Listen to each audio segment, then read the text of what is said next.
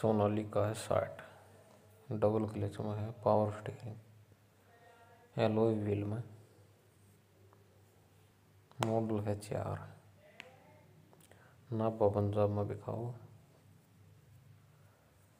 Prize है दो पचपन। ऑल ब्लैक व्हील ने छोड़ के जो है ऑल ब्लैक है।